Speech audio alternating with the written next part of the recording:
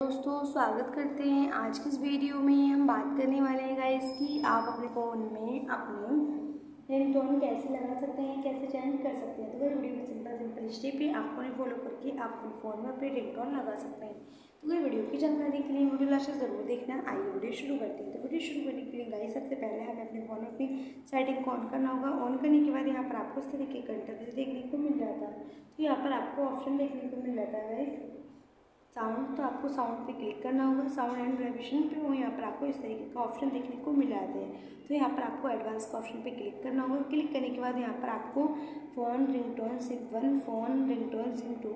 तो आप अपने फ़ोन में अपनी जो रिंगटोन लगाना चाहते हैं, आप सिम वन पे लगाना चाहते हैं सिम टू पे तो आप अगर वन पे लगाना चाहते हैं तो वन पे क्लिक करेंगे, टू पे लगाना चाहते हैं तो टू पे क्लिक कर देंगे।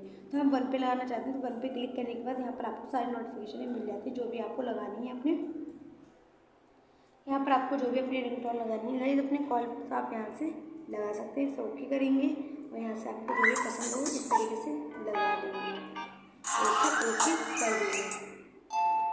तो भाई इस तरीके से आप अपने फ़ोन में अपने रिंगटोन लगा सकते हैं। तो भाई वीडियो पसंद आई हो तो शेयर करें लाइक करें चैनल पर नहीं हो तो चैनल को सब्सक्राइब करें। मिलते हैं अगली नेक्स्ट वीडियो में।